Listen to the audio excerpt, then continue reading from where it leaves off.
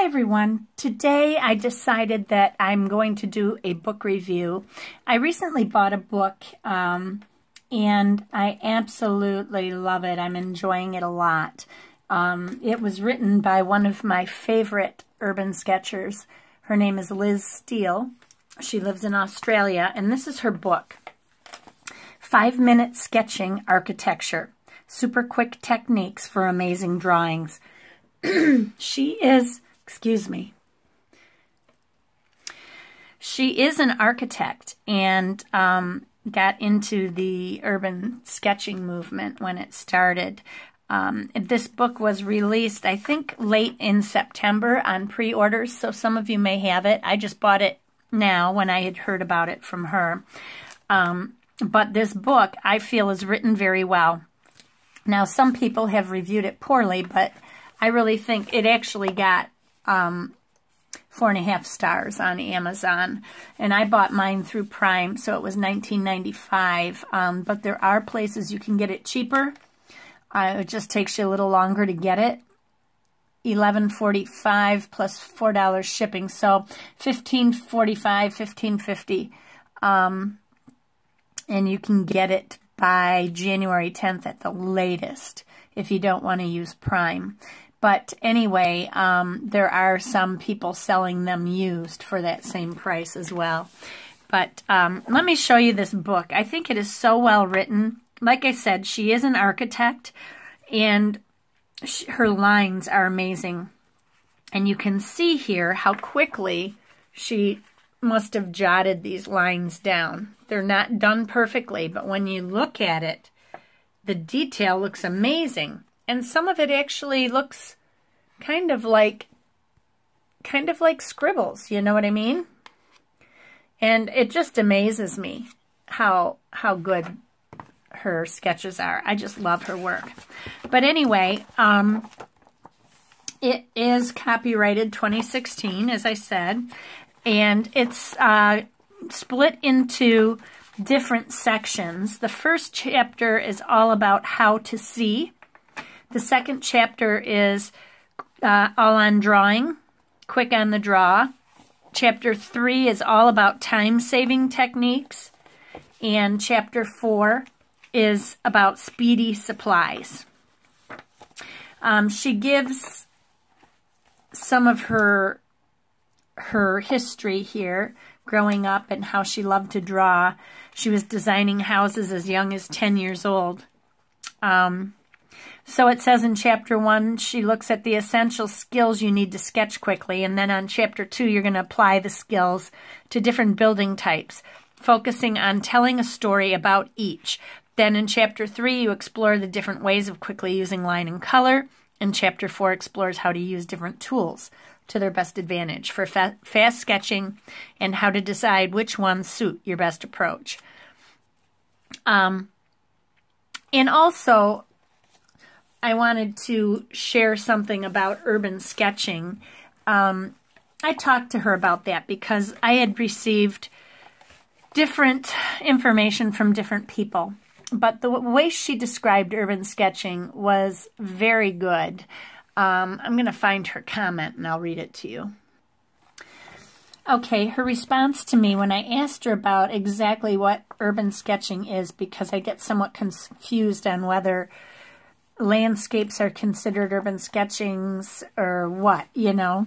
So her response is, Hi Sharon, the goal of Urban Sketchers is to record stories out on location. My personal take on it is by urban, she quote, quotes that, urban, I read human. So people living in rural areas can focus on the way they live rather than pure landscape paintings.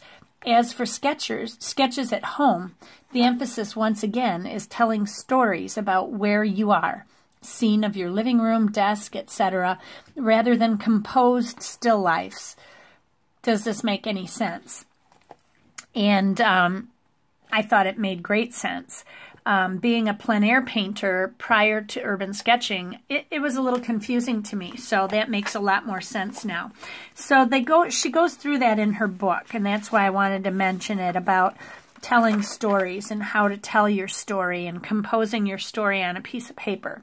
Um, so in the beginning, she goes into key architectural architectural elements, which get pretty um, detailed, like callouts and classical orders and balustrades and arches and modern architecture versus Gothic and all this stuff, so, and buttresses and everything.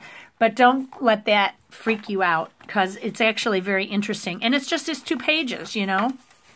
And then she starts her book, How to See, um, how to find your story and how to tell your story. And everything is written with these tips, one, two, three, four, five. Each page, beginning composition, one, two, three, four, five. And then she has pictures to go along with it and little tidbits. Not all of the photos um, of the sketches are hers. Some of them are other people in the urban sketching well, uh, world.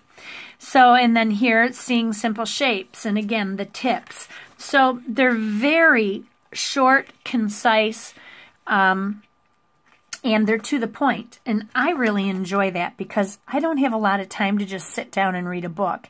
I read, I listen to audiobooks while I'm painting um, so that I can read, but um, I'd rather just have a brush in my hand rather than read a book. So, but I do read this in the evenings when I'm done painting. So, um, and when I'm responding to your comments on YouTube and all of that.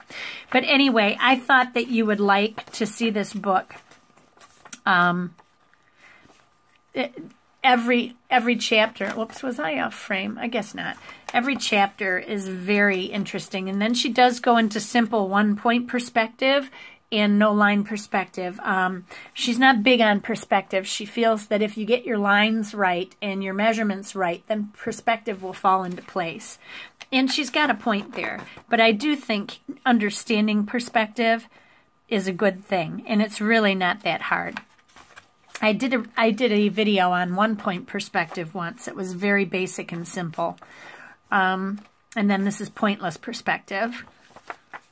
And then she goes into foreshortening. You remember when I was showing you my sketchbook and um, I had that truck that looked like it got hit is because it was foreshortened and I didn't turn it in the right direction or any of that. So it really screwed it up.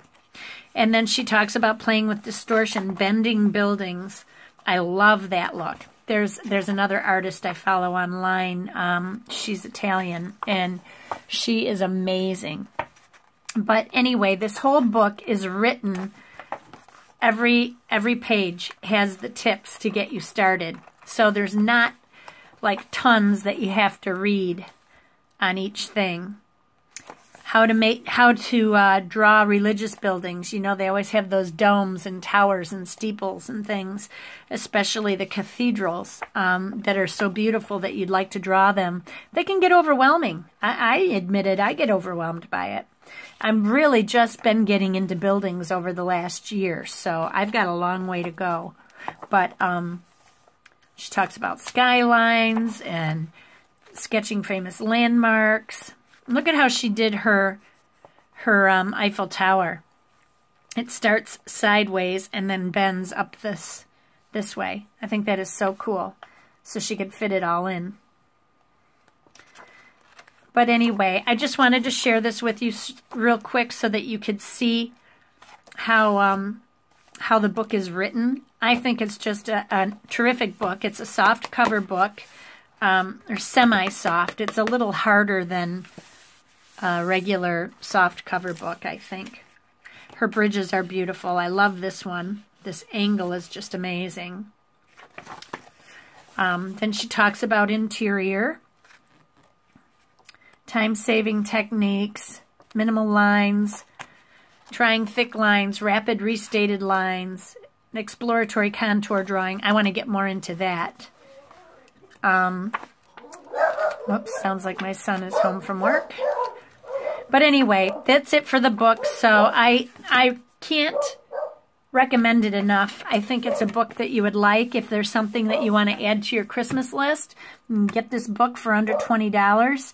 If somebody wants to find a book, um, a gift for you, you might want to tell them to get this for you. It's just, it's great. And if you go through Amazon Prime in the U.S., you'll have it in two days. So anyway, Everybody have a great day, and I'm just about done painting all of my paintings. I've been working on these hard to try to get them all finished so my family and friends will all have paintings. Some of them I do doubles of, but um, yeah, I've uh, been working really hard. That's just a few of them. I've got all these here too. I mean, there's so many. You saw these. But, um, all my snowman ones. There's another one of the gate, another snowman.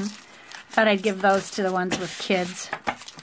So anyway, I've been busy. I still have four more to go before Thursday.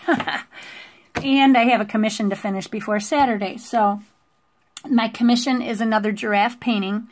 Actually, it's a mother and baby giraffe. I don't know if you guys want me to paint it on video or not. Since I've already done one giraffe, you may not want to see another one.